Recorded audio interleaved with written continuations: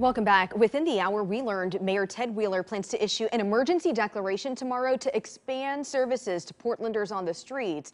No specifics have been released yet, and it comes as KOIN 6 learned about a potential big setback for a plan to get people living on the harshest homeless camps off the street. Yeah, our investigator Dan Tilkin joining us now. And Dan, you learned the organization expected to run one of those villages, Safe Rest Villages, is pulling out now? Yeah, so we're talking about the village plan for right here, the Sears Armory near Multnomah Village, one of seven proposed locations.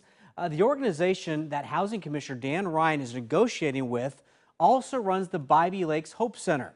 Uh, we have learned uh, the group is pulling out because it won't have enough control over who is placed in the Safe Rest Village.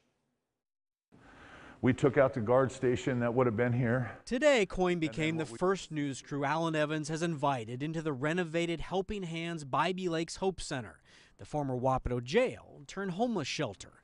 In recent days, it expanded capacity to serve over 300 people who were living on the streets and was in negotiations to be part of the Safe Rest Village plan. Love Dan Ryan. I, I love his mission. But Evans says his organization can no longer be part of Dan Ryan's plan to help people at the proposed Sears Armory Safe Rest Village site because they may be going through uncontrolled harsh addiction and suffering severe mental illness. If you guys aren't going to do it, who can do it?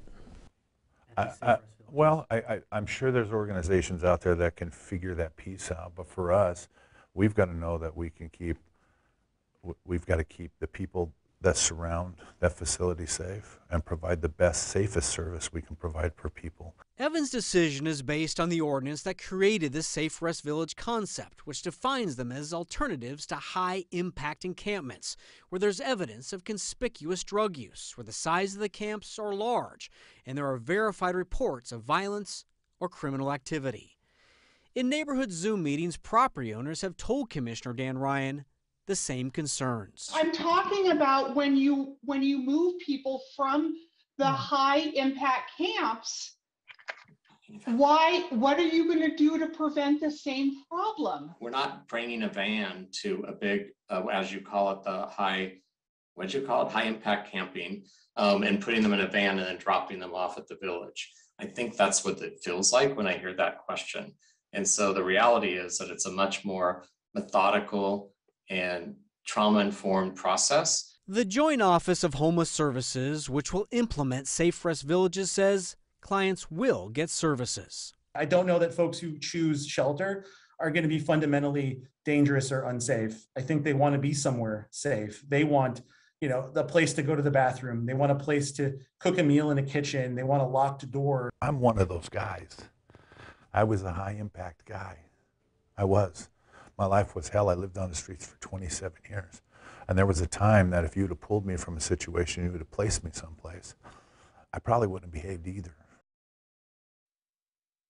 Dan Ryan's office sent us a statement that reads in part, I'm disappointed that Helping Hands is declining to move forward with our potential Safe Rest Village partnership.